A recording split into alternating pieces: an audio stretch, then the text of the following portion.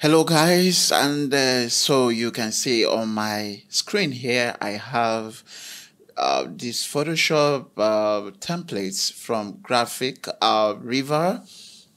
And I actually want to be able to see the thumbnails instead of this Photoshop logo okay? And to do that you want to uh, download and install a free tool. And uh, that tool is called graphic river. So i'm going to show you how to get there. You can see i have it open down here.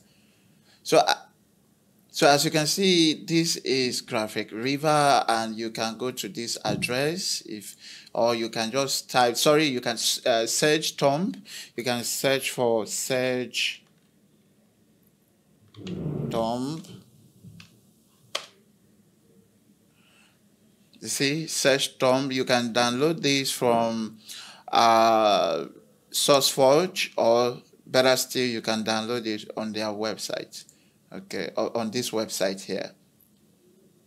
But I would rather suggest that you download it from uh, search, uh, I mean, SourceForge, because I trust SourceForge more than, I don't know if this is their website, but um, I, I prefer to download the one from Search, I mean, SourceForge. So SageThumbs is the software and right there is downloading.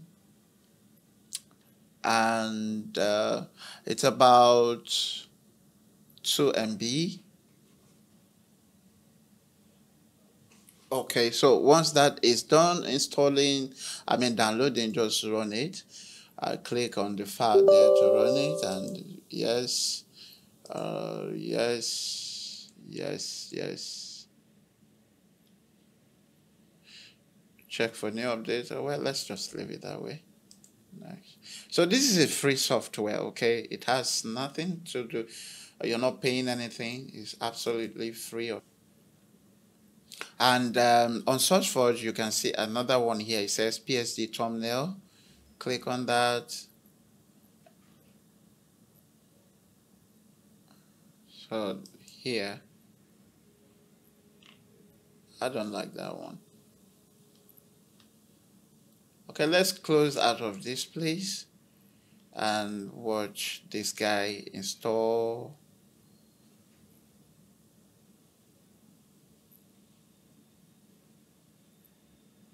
Right away it has not even finished installing and you can see uh, the, uh, the thumbnails have actually changed to what we want to see. So yeah click next and finish.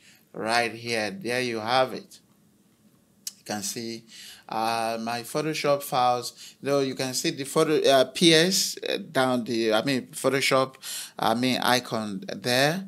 Uh, you know thumbnail in a thumbnail.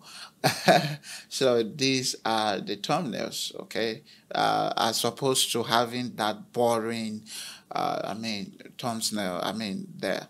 So thank you guys for watching, and that is how you change your thumbnails, your Photoshop thumbnails to uh, display the content without opening them in Photoshop. Thank you guys for watching and see you next time in another video. Bye-bye.